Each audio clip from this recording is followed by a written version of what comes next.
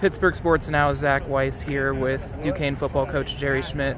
Jerry, of course, obviously some really encouraging results lately, taking things day by day. Just what have you liked with the bounce back ability of your team thus far? Well, they just believe in no matter what happens to the, the game before, after 24 hours, they're going to put it behind them and they're going to move forward and get better. And that has paid off for the Dukes the last couple of weeks for you just what what's your process like for film? When you watch the film you get that feedback and either you tailor those practices adjusting towards what you need to counterpoint and counterpunch or just be a better version of yourselves? Well we teach from the good things we do and we teach from the mistakes and we take and apply that on the in the in the chalk talk with them. And then we apply it on the field and we try to repeat it and then you combine that with the game plan for the coming week. So it's a challenge for our coaches. They do a really good job of teaching to the kids. And the kids are good learners and they want to learn, and that makes it a whole lot easier. How much do you enjoy the film aspect of it? Getting that chance to interact with your staff, get a chance to just further know your guys based on that feedback that you see in front of you? I must enjoy it uh, a lot because I've been doing a lot of it for a lot of years, uh, and I'm enjoy it just as much as the first year that I did it on VHS. What was that like just going through it on VHS, just as a curiosity question? Oh, the VHS is pretty good. There, you don't have all the technical difficulties with internet. You pop that thing in and you can roll on it, and the, the, the kids will laugh if you ask them. They, they'll tell you, I always say, if we had a VHS, we wouldn't have to wait for all this sometimes technical difficulties.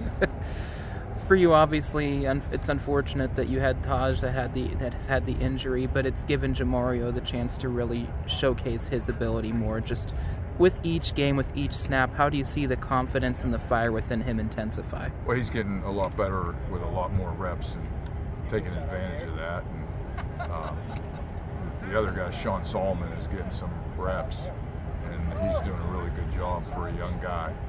Uh, really happy with those two, the way they work together.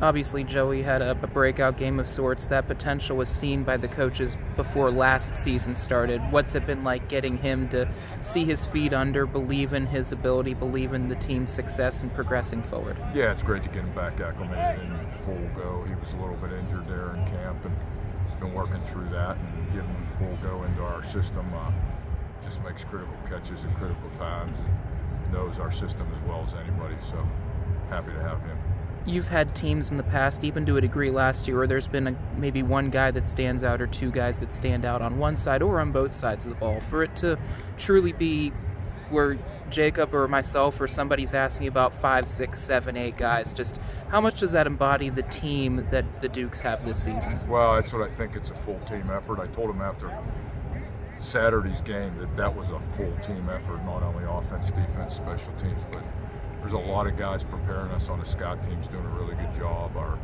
our athletic trainers, our coaches, and it was a full team effort in front of the homecoming crowd. And, uh, really enjoyed myself watching that on the sideline and uh, seeing so many successful guys continue to elevate their game.